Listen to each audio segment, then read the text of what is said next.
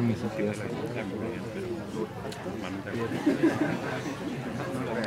Decía que era, como importante. Como se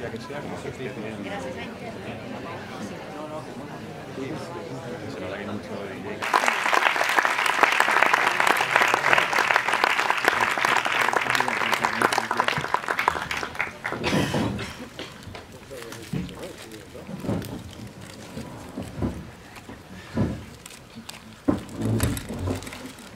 tarde, bueno, todo está rodeado de tanta humanidad y talento. eh, hoy, hoy, hoy, me impresiona. eh. Eh, bueno, para mí es un inmenso pla- placer que en esta colaboración con el Festival de Sitges pues, nos hayan permitido compartir el padrino de los 50 años del, festival. Él es el culpable de haber elegido las, las películas porque nos dijo, quiero, quiero estas tres y concretamente el laberinto del fauno para presentarla y como que además resulta que del fauno está eh, protagonizada por este buen amigo que es eh, Sergi López, pues eh, era inevitable que se sumara a esta pequeña fiesta, cele- celebración en torno al, cine como, como siempre. Esto va a ser un debate informal, una charla informal en torno a Guillermo del Toro, a la película, al rodaje, al personaje de este capitán tan siniestro y, no, y nada, nada andaré más. Eh, Hay que prender tu micrófono, Sergi. Sí, pero lo creo que es, lo, ah, puedo hacerlo yo. Es un service esto. Eh, Guillermo, eh, bienvenido. Eh, empezamos por donde quieres, podemos empezar por el cine fantástico, porque todas tus películas son fantásticas, por la guerra civil, por donde, por donde tú quieras. Por donde sea. Son películas raras de cojones. y realmente no sé, no sé muy bien lo que son porque me atrae muchísimo la forma, la- el aspecto visual del cine de horror, pero me atrae la estructura del cuento de hadas. No me interesan los mecanismos del cine de horror como el susto y esto no, no me interesa, pero me interesa la atmósfera. Me gusta el melodrama arrabalero mexicano. Me gusta un montón de cosas y bueno, lo viste en la última, La forma del agua. Mezclo thriller con musical, con melodrama, no sé, no sé qué coño hago yo. pero hago, hago lo que hago ya. A estas alturas, después de 25 años, es, es, es como un árbol. Si quieres aguacates, vas al árbol de aguacates. No voy a dar tomates de repente. Entonces ya la película es lo- las- como las que hago, no sé. El fantástico lo que me parece que es eh, sensacional es que te permite fabular eh, conceptos abstractos encarnados en figuras ah, fantásticas. Es decir, si quieres hablar del bien, el mal, de la justicia, la injusticia, lo que sea, puedes encarnarlo en una criatura y no relativizarlo haciéndolo el tópico del, del diario del, del día, ¿me entiendes? Si yo te hablo de un político en concreto, una fecha en No, no, concreto... por favor, no. No son los verdaderos monstruos, los, los políticos de traje y corbatita, pero eh, si, lo, si no lo relativizo, lo hago universal a través de encarnarlo en un símbolo, la parábola me permite el cuento de hadas encarnar conceptos en criaturas. Esto creo que viene de lejos porque se ven muchas cosas, no sé si es cierto, pero eh, no hace mucho vi una entrevista contigo que decías que tu abuela te había exorcizado dos veces de pequeño y que te hacía poner chapas, chapas de, de botellas en los pies para que sangraran, ¿es cierto? Lamentablemente sí. Por eso estoy gordo. Esa es mi explicación. La de Santiago es que como mucho. Pero, pero eh, sí es verdad, mi abuela era un poco como la mamá de Carrie de. Era, era una, era una mujer muy intensa, católica. Y eh, para empezar, a los cuatro años me explica lo que es el pecado original. Y no lo entiendo, yo no entiendo cómo voy a romper, no voy a pagar algo que no he roto. Digo, entonces ya lo debo, sí, vas a ir al purgatorio. Y si haces esto y lo otro, irás al purgatorio un poco menos. Pero digo, nací follado. Entonces no lo entendía, es un horror profundo. Ella sí me exorcizó dos veces, una porque me, me empezó a exorcizar y yo me reía. Pero me reía porque era ridículo que una mujer adulta estuviera exorcizando a un puto niño. Y ella, se, y le asustaba, decía, no te rías de, nuestro Señor Jesucristo. De torero de ciudad y ella se asustaba más. Pero yo qué podía hacer, lo de las corcholatas, de las chapas, es cierto, me ponía chapas en los zapatos para, para a través de la mortificación de la carne, eh, eh, eh, me quitaba horas de purgatorio. Y eventualmente mi, ma- mi mamá descubrió los calcetines llenos de sangre y me dijo, ¿pero qué es eso? Le dije, las chapas de la abuela un Claro, de, de ahí a la guerra civil española y un paso. ¿no? Bueno, sí. No, eh, eh, realmente lo que pasa es que México tiene una cercanía muy grande con, con España. Es un país que, que recibe abiertamente eh, refugiados republicanos. Es un país donde la cultura, la cultura del cinematográfica está muy formada por actores eh, que vienen escapando en la guerra civil, por escenógrafos, diseñadores, directores o eh, hijos de refugiados de la guerra civil. Las familias vienen a trabajar en, cine, en distintas disciplinas, y, y, eh, uno de ellos, un hijo de una, de una maestra republicana que se llama Paquita Riera, era Emilio García Riera, que es, es el gran historiador del cine mexicano, mm, que se volvió una suerte de mentor para mí. Emilio era un sabio, un tipo muy sabio.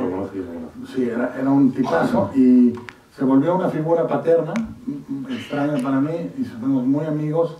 Y, me, y para mí la guerra civil era algo nebuloso, y me, me explicó, me hablaba de ello. Y era yo muy joven, tendría, no sé, 19, 20 años, algo así. Y, y me fui involucrando cada vez más, me explicaba la importancia mundial, porque yo decía, era- me, me decían, a los seis meses de, de acabar la guerra civil, Hitler invade Polonia y muchas de las cosas que practicó en la guerra civil eh, las puso en práctica en la Segunda Guerra Mundial.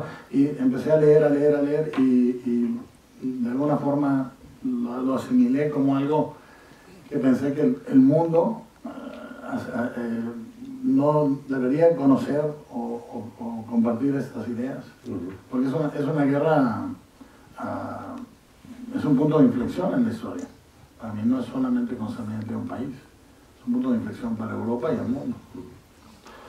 Eh, en esta compaginación entre lo, entre lo fantástico, lo, lo real, la guerra civil, los monstruos y demás, en eh, la Venture Fauno, sin entrar a revelar más, más detalles, pero... No, ya la vieron, ¿no? Ah, Saben que al final, no. no, decía que hay monstruos, hay monstruos fantásticos. Y está este cabrón. Y monstruos fantásticos. Ahí, ahí iba yo, ahí iba yo. Sí, bueno, yo creo que en todas mis películas realmente, prácticamente todas, excepto Pacific Rim, que es donde los monstruos representan una fuerza natural superior al humano, podrían ser huracanes, terremotos, lo que sea, eh, y representan otra cosa que nunca discuto en público, pero si quieres te la platico al ratito. Pero, pero eh, eh, normalmente las películas son para demostrar que los monstruos espantosos son los humanos el fantasma del espinazo del diablo, los fantasmas de la cumbre escarlata, Hellboy, todos son benignos, porque yo tengo un amor a los monstruos profundo, espiritual, y para mí son un santoral extrañísimo.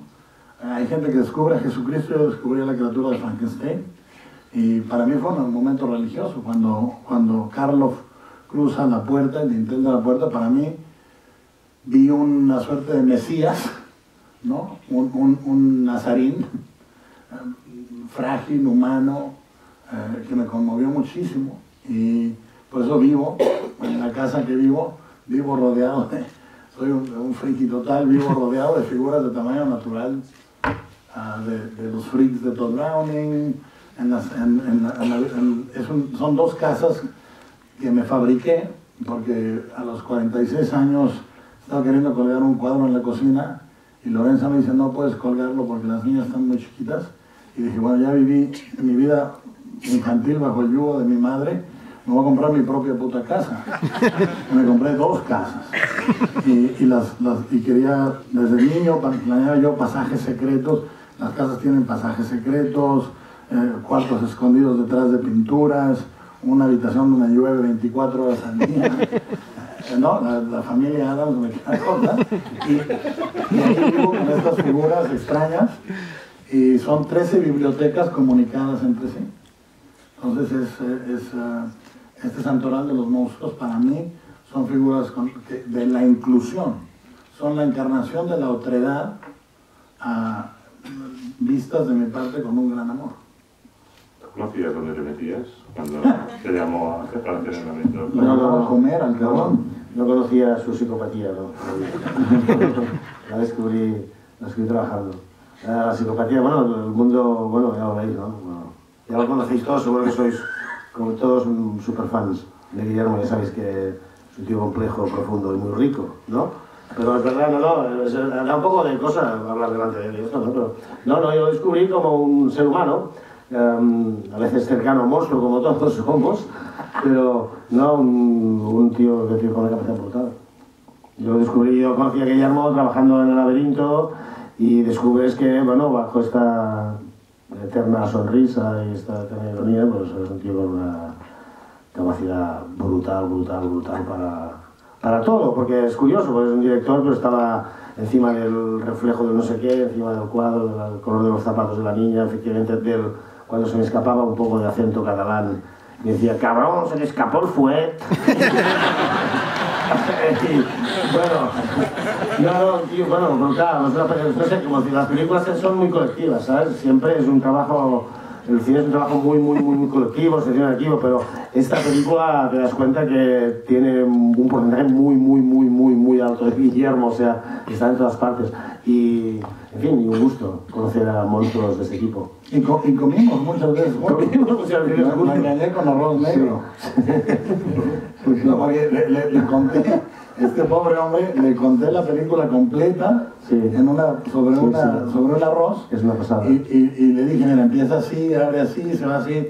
Le conté toda la película. Sí, sí, pero cuidado, pero me contó la película, pero como está ahora, o sea, diciendo, no, pero guion, pero guion, no, bueno, lo estoy terminando de escribir, o sea, ya te lo daré. Pero mira, empieza y se ve un coche, y te, y te quedas así comiendo arroz, y esto, bueno, me estuvo contando la peli durante el, el rato que duró la peli, una verdad, 40, entera, pero con todos los detalles, o sea, con todas las cositas que, ah, ah, ah, hasta que al final dijo, bueno, ¿qué? ¿La o qué? Dijo, "Hombre, claro, tío. Y luego me tardé dos años en escribir el guion. Pero lo que pasa es que eh, para mí la anécdota no es lo importante, tengo que texturar, o sea, yo lo digo en serio, no hago, la forma es contenido. Entonces lo que me tardo más es codificando las películas visualmente. La gente dice, ah, es muy bonita, pero la historia, digo, es que si es bonita, esa es la historia. O sea, no me jodas. La forma de contenido, el contenido la forma, si no estamos haciendo teatro, cabrones. Estamos, haciendo, estamos haciendo una cosa formal que tiene tanto que ver con la danza, el movimiento, la música, el color, como si estuvieras analizando una pintura. O sea, cuando hablas de una pintura hay un vigor de trazo. Es decir, tú hablas de un, de, pintor, vigor de trazo, fluidez. Pues lo mismo sucede para mí en el cine. Entonces me tardé un montón porque eh, las primeras 10 páginas, eso sí se las puedo contar, no les arruino nada, quería dejar claro, eh, la imagen no la hallaba, no la hallaba hasta que pensé la sangre fluyendo en reversa hacia la nariz de la niña, me está diciendo que no es muerte, es una historia de vida. Y cuando encontré esa imagen ya pude escribir lo demás. Pero la escribí, cuando encontré esa imagen ya la escribí en ocho semanas. Fue muy rápido, pero mientras tanto muy difícil. De ese contacto tan, tan físico que antes describías con, con el mundo del fantástico, para visualizarlo, lo que estabas comentando ahora, el, el salto, digamos, del, del maquillaje, los efectos tradicionales, eh, los efectos especiales tradicionales a los efectos especiales eh, digitales, donde solamente ves una- un fondo azul y ya no ves eh, nada más. ¿Cómo te manejas esa, esa evolución tecnológica? Bueno, yo, yo nunca tuve una infancia normal. Entonces, cuando era niño ya estaba leyendo revistas de cine. Leía revistas muy chiquito, leía revistas de cine fantástico como monstruos famosos del cine, ¿no? Pero también empezaba a leer lo que había. Eh, había muchas revistas de cine amateur, revistas eh, como American Cinematographer, todo eso, y me daba muchísima curiosidad el aspecto técnico. Entonces yo eh, empecé a animar con una cámara de Super 8 de mi padre. Empecé animación y luego fui haciendo trucos y fui haciendo animaciones y maquillajes. Y para la edad de 13, 14 años ya hacía maquillajes muy cutres, pero maquillajes y efectos. Fabricaba mis propios explosivos. Iba y compraba eh, eh, cartuchos de escopeta, le sacaba la pólvora.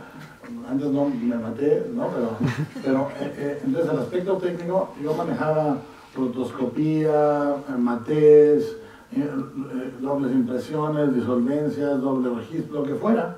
Mm, Las impresoras ópticas, antes de hacer ni siquiera la primera película. Tenía una compañía que hacía efectos especiales de maquillaje, de animación, de composición, de maquetas. Y lo hice porque dije, "Mm, mm, nadie va a hacer esos efectos en México. Y cuando quiera hacer mi primera película, voy a encontrar ese problema, entonces lo voy a aprender a hacer yo. Y eso fue, eh, tardé eh, 10 años en que la compañía tuviera un cierto nombre, hice Cronos y la cerré. Era director de Super 8, pero quería mostrar que, podía hacerse en la película. Entonces, es mi segunda naturaleza. ¿eh? Si tú, eh, tengo supervisores de efectos especiales, pero realmente yo puedo discutir con ellos qué elementos van a hacer desde que estoy escribiendo el guion. Desde que escribo el guion ya sé exactamente lo que va a tener que construirse al milímetro. Al punto que, no, no en una escena con Sergi, pero ah, fue muy difícil para mí la película porque el diseñador de producción es un tipazo, Eugenio, pero era su primera película grande. Y hubo un montón de... No, yo, yo estaba acostumbrado a, un- a un ciertas cosas y un día la pared del baño no, no se movía en el cuarto de la niña y agarré una motosierra y destruí la pared del baño. Entre la motosierra y unas buenas patadas. Cuando que, a veces me sale lo mexicano, sí. Los mexicanos somos como los japoneses, pero ineficientes. Sonreímos y decimos a todo que sí, pero ya que nos tocan los cojones, sacamos el machete. Uno, sí, sí, ay, joder,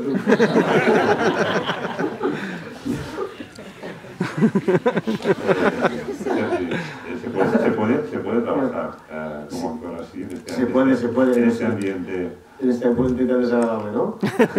Tanto machete. No, claro que se puede, se puede. Es decir, que de entrada y el trabajo de actor solo faltaría que nos quejáramos, ¿no?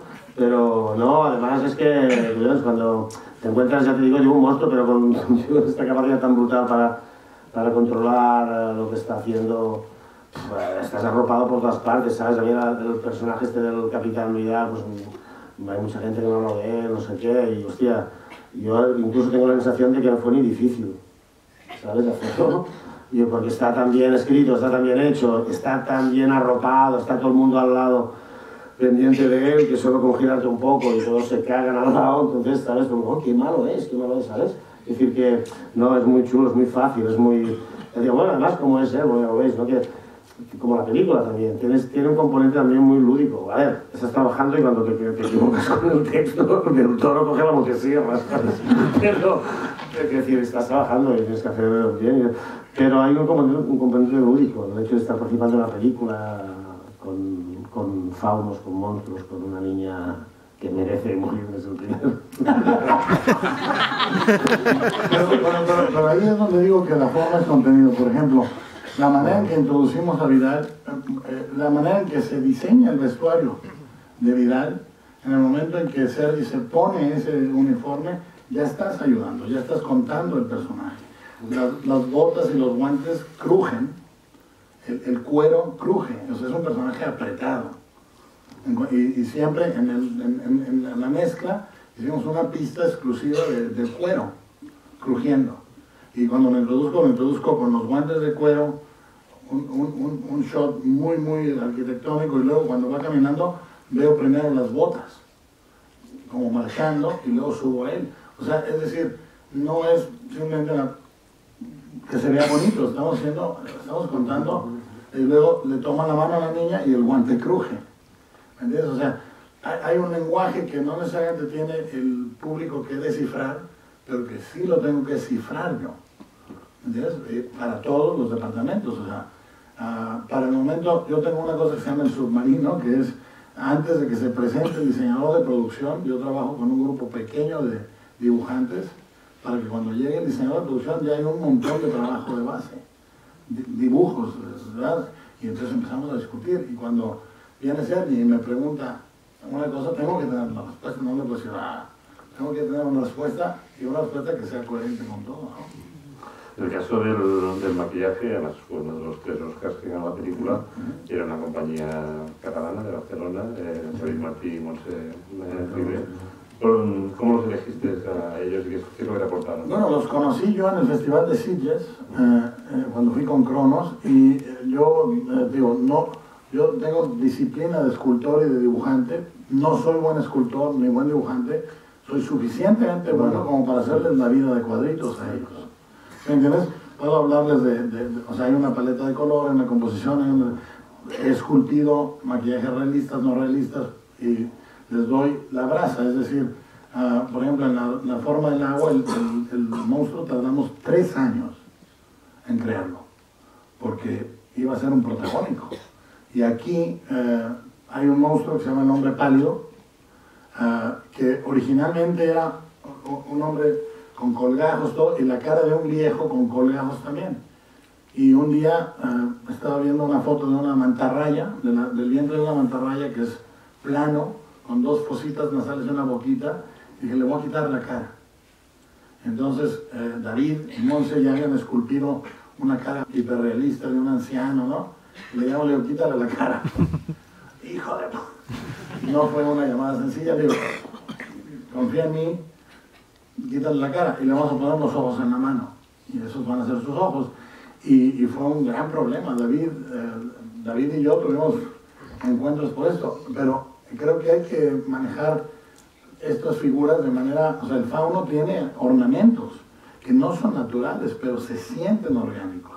Cuando hicimos El Espinazo del Diablo, y son unos colaboradores sensacionales, David y Monse son unos mártires del maquillaje maravillosos y yo soy la crucifixión. Cuando hicimos el espinazo del diablo, David había hecho muchos estudios de putrefacción para el fantasma. Dije, no, que esté roto como una porcelana. Pero eso, dice, no tiene sentido. Le digo, para mí sí, porque es la inocencia, como una muñeca quebrada, como una cáscara de huevo, es frágil. ¿sí? Aunque no sea literal, cuando estamos haciendo esta- estas cosas, no necesita ser literal. Hay, un- hay un- hay una verosimilitud y hay una realidad. Son dos niveles diferentes en la fantasía. La verosimilitud le corresponde al mundo, la realidad me corresponde a mí y al relato. Entonces, eh, eh, los elegí porque son realmente de una exigencia artística enorme. Es decir, Monse es una escultora brutalmente genial, de las mejores que yo he visto. Y, y- y creo que eso es, si un colaborador tiene esa autoexigencia y tú le agregas tu exigencia, es como ir en un coche de puta madre, ¿no? Con un gran motor. Y un y un gran piloto. Sí, sí, no es divertido. Eh, Guillermo Autor acaba de citar la su el Festival de Sitges esta, esta semana. mm, Y muy de, de corazón, déjenme hacer un poco de publicidad de la película porque es eh, realmente estupenda. Eh, Estará en el emule en diciembre. Pero yo, yo creo, yo creo No la vean en el puto emule, ¿eh? Argumento más viejo y patético. Nadie lo merece. No, pero en, cual- en cualquier caso yo creo que eh, es una película particular porque está todo dosis de ternura, de cariño. Eh, no sé si te estás haciendo viejo. Es decir, a los 50 viene una crisis, eso- los clichés son clichés porque son reales. Y es la primera película vitalista que. Es decir, todas las películas que había hecho anteriormente, El Espinazo, El Laberinto, Crimson Peak, lo que sea, tienen, aún cosas como Pacific Rim, tienen una sensación de nostalgia y de pérdida y de corrosión. Y esta es la primera película vitalista, es decir, tiene una energía nueva, los personajes viven de una manera diferente y es el, el final es apabullante, pero es hermosísimo. El- acá es apabullante y es apabullante. Bien, tenemos que ir acabando. No sé si queréis añadir alguna, alguna cosa más. Y eh. eso que él me invite a comer. Invito, invito a comer. No, no, Guillermo, dígalo Guillermo, que es un- mejor escucharlo a él. No, pues si quiere alguien hacer una pregunta, yo, yo respondo mejor que inventar chingadera. Podemos, podemos quedarnos aquí sin ver la película si abrimos el No. debate. Pero si quieres, no, si quieres una última, una Pues, ¿qué les última. Eh, ¿Cuánta gente la ha visto? Levante la mano. Tú no, ¿ah? Ah, bueno. Y no estarías en edad legal de haberlo visto. Bueno, lo que creo que es muy hermoso es la recuperación del, del espíritu original del cuento de hadas. Originalmente el cuento, es decir, narradores itinerantes en, la- en Europa viajaban de lugar en lugar y a cambio de cobijo una historia. Normalmente eran para los adultos de la casa y normalmente eh, llevaban altas dosis de violencia, de crueldad, eh, y, y creo que de ahí surge el cuento de horror también. Creo que esa es la vertiente que se... Y, y- y sucedieron siempre en tiempos de crisis, siempre fueron para narrar tiempos difíciles. Entonces, ah, eh, sucedían, por ejemplo, en, en- en épocas de pestilencia, de guerra, las recopilaciones antropológicas de los Grimm o tal, los, eh, los eh, protagonistas eran soldados, por ejemplo, regresando de la guerra, zapateros o sastres, que eran ah, trabajadores itinerantes, que iban de casa en casa reparando zapatos, remendando ropa o haciendo ropa, y por eso también muchos de los protagonistas de los cuentos de hadas son eso. Eventualmente eh, los cuentos de hadas se dividen en unas cuantas docenas de patrones que se pueden repetir. Esto es lo que permite eh, que, se pueda crear un cuento como el laberinto que parece antiguo, pero que está usando patrones, matrices muy viejas, muy tradicionales, mm, que podríamos hablar ahí sí horas. Mm, Alguna que les puedo contar es la, la regla de tres, es decir, todo tiene que ser tres. Eso es un, una cosa que hay teorías de por qué viene, porque la identificación mamífera, para narrar una historia de- eh, necesitas ojos y una boca, porque como mamífero eso es lo que necesitabas para huir si venía un predador, bla, bla, bla. Pero la regla de tres es tres ositos, tres camitas, tres jaulas, eh, eh, o sea, es tres deseos. Es una regla establecida en la cultura occidental. Entonces yo tomé todas estas cosas y quise hacer una fábula diferente. Las películas que hago no son fáciles de financiar porque son cosas muy raras. Entonces cuando voy y digo, quiero hacer una fábula antifascista en la posguerra franquista. Oh, sí, claro. La niña muere, ¿eh? Oh, oh, pues adelante. Muere, ¿eh? O sea, abre la película la niña está muerta. Entonces no. Pero ya verás que luego pasan cosillas. Y, y- y- programa, comedia, thriller de espías, el que una mujer se enamora de un hombre pez. Puta madre. bueno, muy bien. Pero lo importante de esto es, para mí, es tomar esto y darle... Hay dos, hay dos vertientes enormes en el cuento de... Eh, el proestructura es, si se portan bien eh, y obedecen a sus padres, les irá bien, ¿no? Y hay otro mucho más anárquico, igual nacido del hambre, por ejemplo, Hansel y Gretel abandonados para que mueran de hambre en el bosque porque no los pueden alimentar. Gran principio para un cuento de niños, ¿no? Y, se encuentran unas gominolas, pero luego queman a la bruja. o sea, es un poco más enloquecido, un poco más eh, eh, a favor del caos, ¿sí? antiestructura. Entonces decidí hacer una fábula sobre la desobediencia y la obediencia. Entonces ahí ya con eso los dejo que vean la película. Muchas gracias.